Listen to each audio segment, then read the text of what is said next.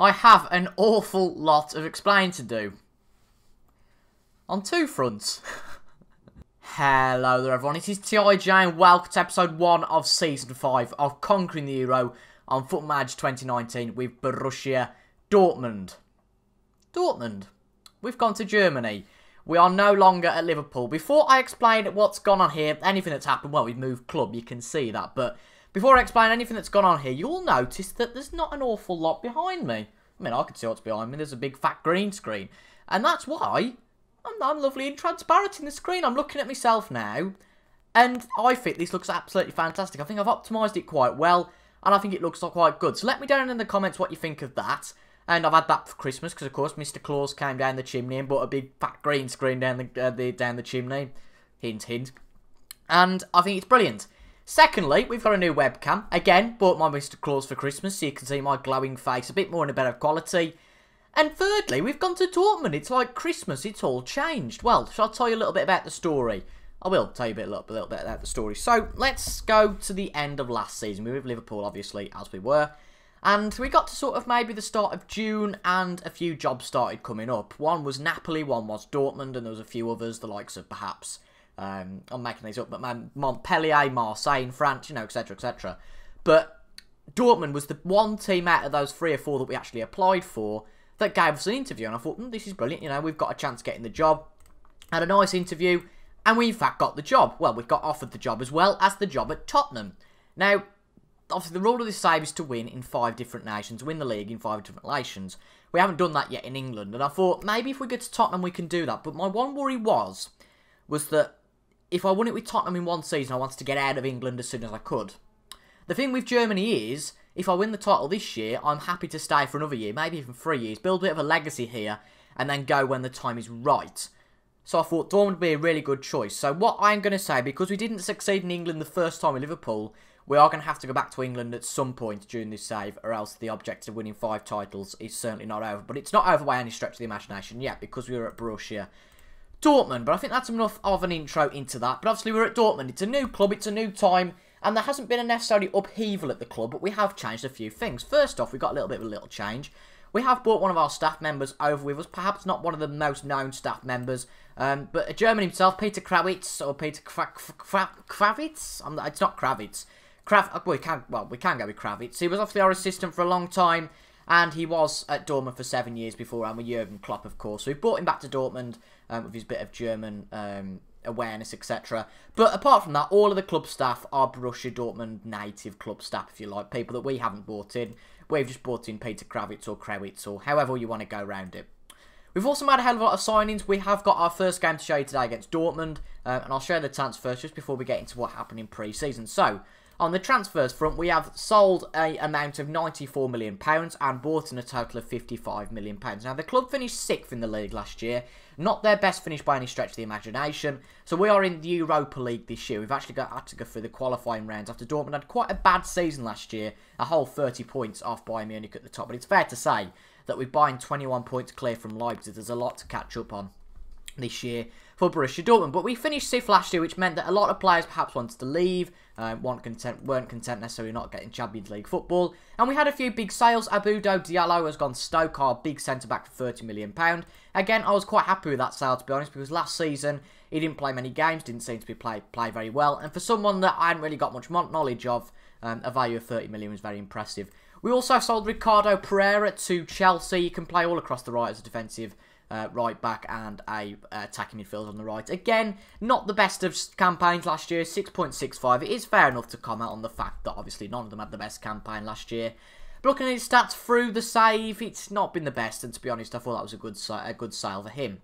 We've also sold Mahmoud Dahoud, another central midfield. We had absolutely, we had loads of central midfielders. We had nine central midfielders at the start of this transfer window. So he wants to get rid of one or two of them, um, and he hadn't had the best. In fact, out of the nine central midfielders, he had the worst season in terms of his stats last year. So he went to Cardiff for a nice, healthy 15 million. We also get rid of Christopher Schindler, who has actually had Huddersfield at the moment. You'll recognise him, has, um, and he moved to Hertha Berlin, and he's gone to he went to Dortmund for two seasons, played 17 games, and to be quite honest, didn't look fantastic. So again, that was a good sale, and we've sold a few players, but now we are on to the signing. So we've signed seven players who you can see in all their glory there. And we're going to go all through them now. So we're going to start with the one we got on a free. This is an interesting sign, actually. Aaron Ramsey's come to the club on a free transfer. Now, he's played for Arsenal his all his career, basically, since he um, joined from Cardiff in 2008. But last year, he only played two games. He came to the end of his contract.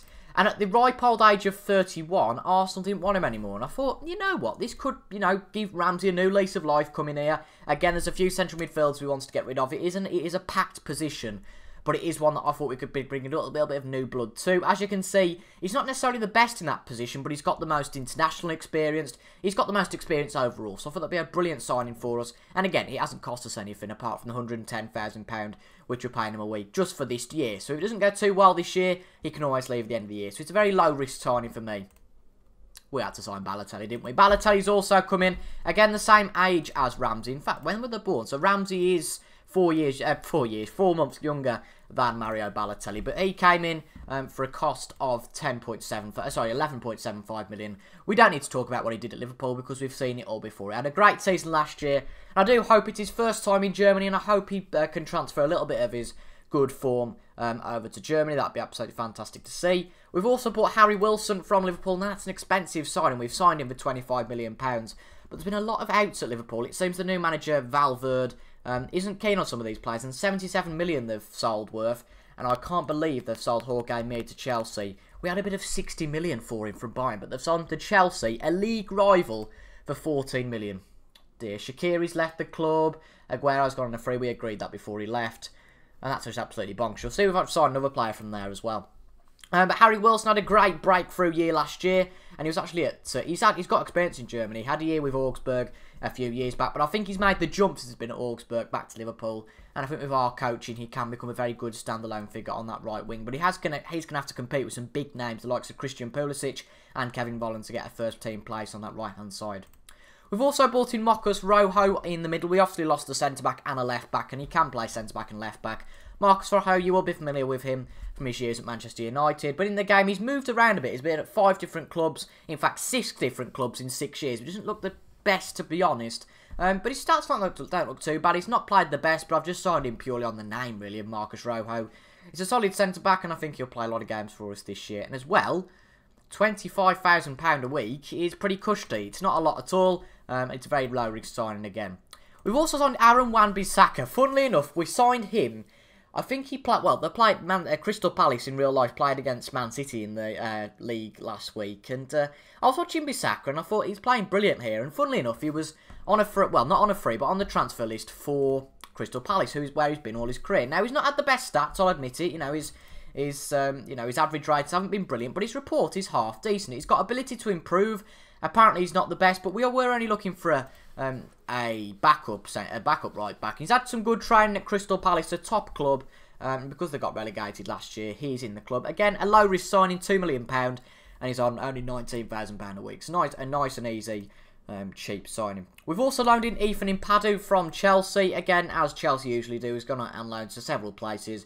Mechelen, Torino, Lazio, and most recently Atalanta. He hasn't had the most game time, but uh, just a little bit of experience is all we need, and he's going to be our fourth choice centre back behind Milenkovic, Pongracic, uh, Pon Pongracic, Rojo, and then Ampadu will be fourth. But uh, I think that, is it Pongracic? Yeah, he's out for about five weeks, so he's going to be our top substitute uh, centre-back. So thank Lord we brought him in. And finally, we've signed Divock Origi, again, another Liverpool player. His stats look actually very good. Um, his ability looks fantastic. Apparently, he's very good, even better than Kevin Volland, which I, I do question that, but our scouts are good, so we're going to go with the views of them. Now, obviously, we've had uh, Origi all our career. He's gone out on loan to several places, Roma, Lisbon and Lazio. Not done the best again, but again, quite a low risk signing, £14 million. And these really will just all to bolster up the squad. So after all those signings ins and outs, we have ended up with this squad. Quite a nice, not necessarily a small squad, but at the same time, not a massive squad either. Um, and we do certainly have a first 11 in mind for the rest of the season. Now, as I said before, we have got to qualify for the Europa League. We've actually got to qualify through the best placed rounds. And we already have already played three games in those best placed rounds already. Now, we had Shamrock Rovers to play in the second round of that, which we beat them 5-0 on both occasions. Balotelli getting four, good start to his career here at Dortmund. Reus getting a hat-trick in the first game away from home, and then Pulisic, Kean and Wan-Bissaka contributing to the goals away, uh, back at home at the uh, Westfalenstadion. That's the best I can do. And then we've just gone away to Ush Best. Is that a Hungarian team? Sounds something like that. Hungarian? Yeah, Hungarian team. Um, Ujpest. We'll go with that. Uh, we beat them 3-0 away from home. Reus and Volland scored the goals there, and it should be quite an easy one. And I think that is the final round. Might, I'm hoping there isn't. A, there is another round. Christ. That's unbelievable. There's another round yet. And then we finally um, can qualify for the group stage if we win that fourth qualifying round. But it's going to be a little bit of an interrupted start to our season, which I'm not the biggest fan of in the world. But we have got this game against uh, Leverkusen in the league. We haven't got the hardest of starts, I wouldn't. We've got Leverkusen, which is quite a big game in its own right. And then we've got Augsburg, Stuttgart and Darmstadt in the next three games before facing RB Leipzig back on camera in the next episode, which will be quite a tough game. But let's get, let's get let's get past this first game first, shall we? So we've got the late game on a Sunday. So this is the team that's going to play in it. So Butland's in goal. He have got Butland, unbelievably. Uh, he did sign from Stoke a number of years ago in this save. How much did the buying ball? The buying for 29 million, and he's doing quite solidly at the back, which is nice to see for him. We've got Butland at the back. We have Wagnerman, Milenkovic, Rojo and Augustinsson at the back. So Rojo makes his debut today. Delaney and Ramsey in the midfield, with Ramsey making his debut. And then Reus and Pulisic are chosen on the wings, with Balotelli and Volland up front. Now, Reus is getting on a bit. He's 33 years old or 34. He's 33 years old, turns 34 at the end of the season. And this possibly might be Reus's last season for us. Um, but he is solid on that left wing, so we are going to keep him there just for the moment. Um, but on the bench, we've got our substitute goalkeeper, Wan-Bissaka, Padu, Arigiel, uh, waited to make their debuts, and then we've got Moise Kean, Gomez, and Pepelu. But you will learn, learn these players' names throughout the save. Um, you know, it's it's a collective adventure, I suppose you could say. And hopefully, either this year or next year, will be our first title in conquering the Euro. I'm gutted we couldn't do anything at Liverpool, but to be honest, I thought that by the end of the fourth season that we were too far away from the teams at the top of the league.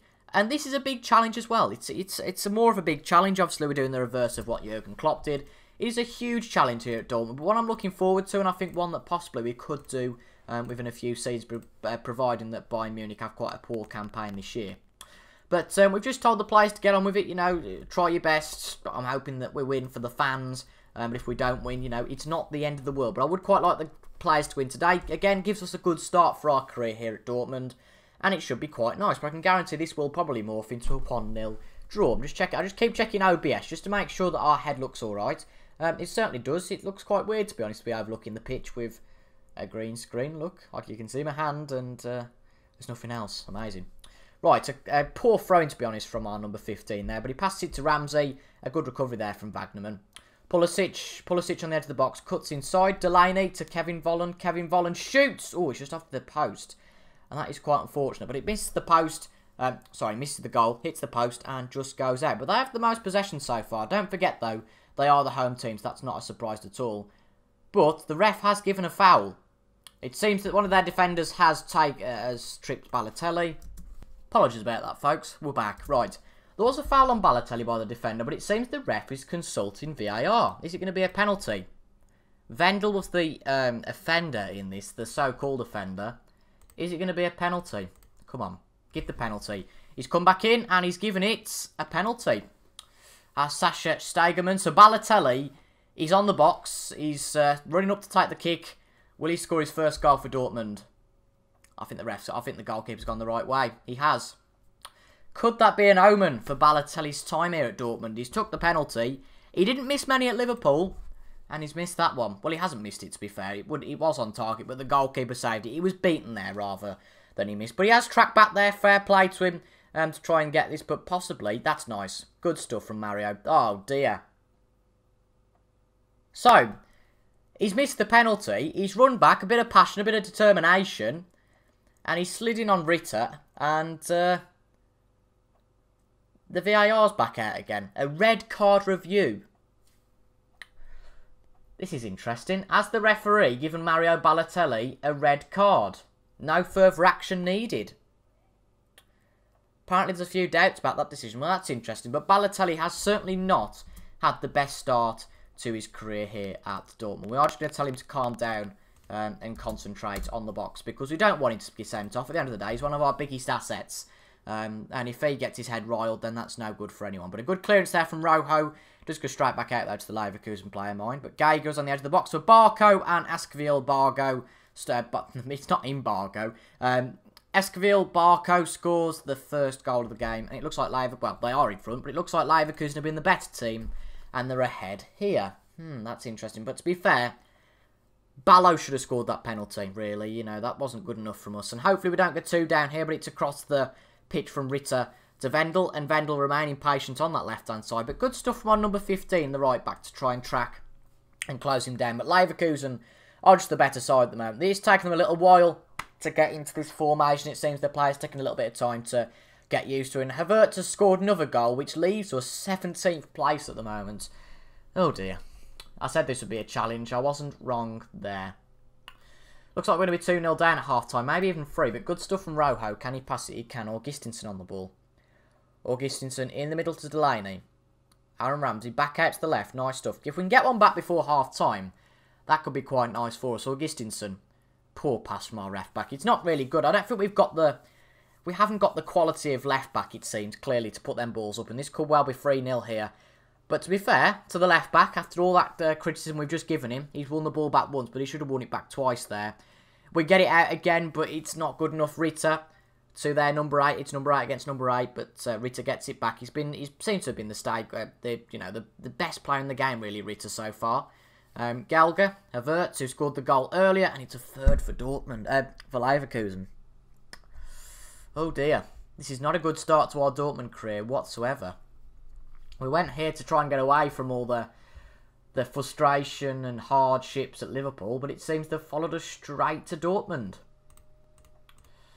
Well, I'll be honest, I'm, I think we're going to very much struggle to get back into this game. I can't see us getting free in the second half. Um, we are going to have to change things. We have to go a lot more direct, I would say, at this point, personally. Um, hit early crosses, play for set pieces, long kicks from the keeper, um, and just prevent short distribution, high defensive line, and use the offside trap. And I think Balotelli's got to come off because he hasn't played well enough, to be honest. Um, bring Origi on. We're going to bring Moise Kean on as well because Kevin Vollander's done absolutely nothing either. Um, and we're going to make it a triple sub, I think, for the... No, we're not actually. We're just going to leave it as it is for the moment. But we'll we will understand, you know, throughout the save. We'll work out who is our best 11 and who our best players are. Because we've only just joined the club ourselves. We've had a pre-season to figure the players out, but it's not until you properly play um, you really know who are your best players. That's a good uh, cross from Reus, but unfortunate not to get there. Moise Kean did have a good header there, but it was off the bar. I don't believe that we're actually bottom of the uh, Bundesliga. That's not quite the desired effect I wanted to have here at Dortmund. But it's a cross in from our number 22, but Ron Zieler gets straight to it in the Leverkusen goal. I couldn't have but picked a worse time in the day to do this. Been interrupted so many times. Right, let's get back on it. Let's tell the players to concentrate. Let's get one or two back at least. Even if we lose this game, even if it's unassailable at this point, let's get one or two back. But this move does not suggest that. Good save from Butland, though. And Wagnerman does get it out. Now can Origi make something on his Dortmund debut? Origi on the wing. Good ball through to Pulisic, but oh, they've lost it. And uh, just not the chemistry between the players at this point, I don't think. Sorry if I sound shattered. I've just ran up the stairs. Should be a bit fitter than that, though, surely. Rojo, back out to the... Well, Rojo's cleared it, but only to um, one of their players. We have got to work on that uh, distribution from the corners, I think, because that's what's letting us down a bit here. And Rich another shot, and it's 4 now. Oh, dear. Oh, it's not going to go well here, is it? I can just feel it in my bones. Oh. Right, it's been Pepelu on for um, Ramsey. I, I can't really say that anyone's had a bad game because they've all had a bad game. So, you know, that's that's the that's the shame of it. dearie me. Um, I don't know what to say at this point. To be fair, um, I know it sounds very daft, but I'm not actually too fussed because... Oh, Origi could get a goal there. It's a one-on-one with the keeper. And that just about sums up the game. It was a decent shot from Origi. In fact, we've had 11 of them so far. And 7 on target. So they've been defending well, have Leverkusen. It's a fair play to them. Um, but this loss, I suppose, just highlights the fact that the Bundesliga is going to be harder, perhaps, potentially, than the Premier League. And I think we've made the right signs. I think this will be a good team. But I think we're probably going to have a little bit like the Spurs factor when they signed a lot of players a few years back. And, you know, they're not going to be able to do much um, oh, we've scored though. Who scored? Origi's got his first goal. That's brilliant for him. Uh, Origi has got his first Dortmund goal. Typical the second that we don't look that we actually score. Reus got a, a good uh, free kick there and it went just to against the crossbar. But Origi got it from there, that rebound and Origi scored his first goal for Dortmund. If we can pull one or two back here, which is what I've always said, if we can reduce the deficit to one or maybe two goals, it doesn't look as bad. But I don't think it will end up like that. But I think that, you know, our next three games aren't the hardest in the world. I think we can get nine points from those three games. And I think that then we can go into that Leipzig game a little bit stronger, um, a little bit more motivated, and a little bit more as, as a team. Because there's a lot of new personnel that's coming to this team at the end of the day. Um, there's a lot of the big players potentially from here, um, which have left the club, and Origi scored again. Again, a nice, a nice to see that at least one player's had a good game from us. It was another mistake from Leverkusen, but ultimately Origi has made the most of that mistake, and I think that we can have a good time here. I think that maybe not this year, but I think within two, maybe three years, we can win the league here because you know we've got a good we've got a good squad. We've got the reputation of being probably the second best team in the league, and all we need is for Bayern to have a few slip ups, and I think we can upset the apple cart at Bayern Munich. I personally think. Um, and, you know, I'm not too worried about this result. It's not the worst result anyway, with the deficit coming down to two goals. But it is a loss, nevertheless. So that is a little bit disappointing to start our save here at Dortmund with that result. But if you have enjoyed that, sure leave a like on the video, comment down below and subscribe to the channel for more green screen footage and Conquer the Euro every day from Monday to Friday. I hope you had a great Christmas and I'll see you guys tomorrow at 6pm back as usual um, for the daily release of FM19 Conquer. Thank you very much for watching folks and I'll see you guys later. Goodbye.